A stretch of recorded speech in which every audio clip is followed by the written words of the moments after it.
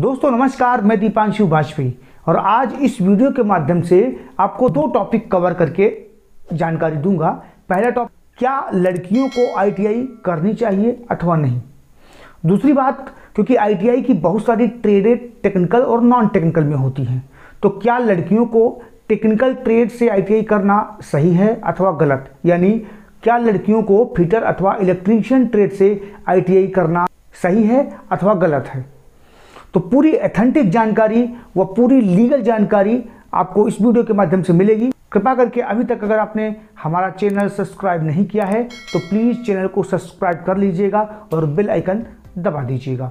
दोस्तों, चलते हैं टॉपिक की तरफ़। दोस्तों, जहाँ तक बात करें, लड़कियों का आईटीआई करना चाहिए अथवा नहीं चाहिए?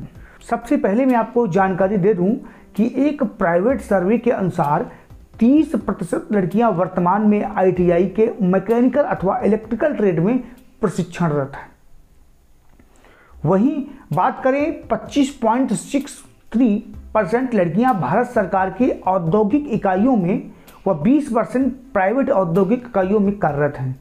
यानी 30 परसेंट लड़कियाँ ऐसी हैं जो वर्तमान में आईटीआई कर रही हैं। मैकेनिकल ट्रेड से या इलेक्ट्रिकल या इलेक्ट्रॉनिक्स ट्रेड से। ठीक है? पच्चीस दशमलव सिक्स थ्री परसेंट लड़कियाँ भारत सरकार के जो औद्योगिक इकाई होती हैं, जैसे भेल, गेल, सेल, जो भारत सरकार के उपक्रम होते हैं, अथवा इसरो हो गया डीआरडीओ हो गया या ऑर्डिनेंस फैक्ट्री हो गई, वहाँ पर पच्चीस दशमलव सिक्स थ्री परसेंट लड़कियाँ कार्य कर रही हैं एज ए टेक्नीशियन के तौर पर।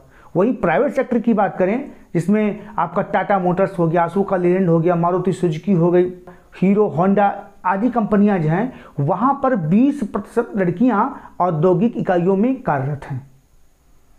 अब बात करते हैं लड़कियों को आईटीआई करना चाहिए या इलेक्ट्रीशियन ट्रेड से करना चाहिए या फिटर ट्रेड से करना चाहिए अथवा नहीं करना चाहिए तो ये धारणा जो आप, आपके मन में है जिसके लिए आप वीडियो पे आए हैं तो उसको निकाल दीजिएगा। जब महिलाएँ अथवा लड़कियाँ आर्मी में जा सकती हैं जब वो पायलट बन सकती हैं, वैज्ञानिक बन करके देश की सेवाएँ दे सकती हैं तो आखिर वो आईटीआई करने के बाद में टेक्नीशियन क्यों नहीं बन सकती हैं? बिल्कुल आईटीआई करके लड़कियाँ टेक्नीशियन के तौर पर अपना करियर बना सकती हैं, चाहे वो आईटीआई टेक्निकल की हो अथवा नॉन टेक्निकल की हो। अब बात करते हैं महिलाओं के लिए जो और इंडस्ट्रियल क्षेत्र में महिलाएँ जो लड़कियाँ काम कर रही हैं, उनकी बात कर रहे हैं। तो फैक्ट्री एक्ट कारखाना तो फैक्ट्री एक्ट कारखाना, अधिनियम 1948 व माइंस एक्ट, खान अधिनियम उन्नीस कि बहुत सारे ऐसे एक्ट हैं जो महिलाओं को प्रोत्साहित करने के लिए कि वो जॉब करें, टेक्नीशियन की जॉब करें, उनको प्रोत्साहित दिया जाता है।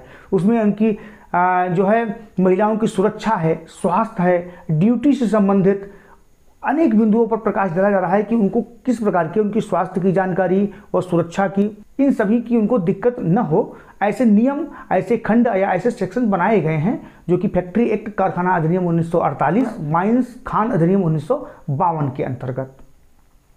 अब बात करते हैं आईटीआई। डीजीई ने महिलाओं व लड़कियों को तकनीकी क्षेत्र में बढ़ावा देने के लिए, आत्मनिर्भर बनाने के लिए लगभग 11 प्रशिक्षण संस्थान जिनमें केवल महिलाओं का प्रवेश ही, जो कि महिलाओं के लिए संचालित होते हैं, उनमें 11 प्रशिक्षण संस्थान जो हैं, उनके माध्यम से महिलाओं को प्रशिक्षण टेक्निकल व नॉन टेक्निकल का दिया जाता है। उनमें बहुत सारे ऐसे टेक्निकल संस्थान हैं, जहाँ पे सी यानी क्राफ्टमैन ट्रेनिंग इंस्ट्रक्टर का कोर्स भी कराया जाता है। अब हम देखते हैं ये हैं कि महिलाओं की बहुत सारी ऐसी लड़कियाँ होती हैं, जिनकी टेक्निकल में रुचि नहीं होती हैं। ऐसी कौन सी ट्रेडें हैं, जिनमें महिलाओं की ज़्यादा रुचि रहती है?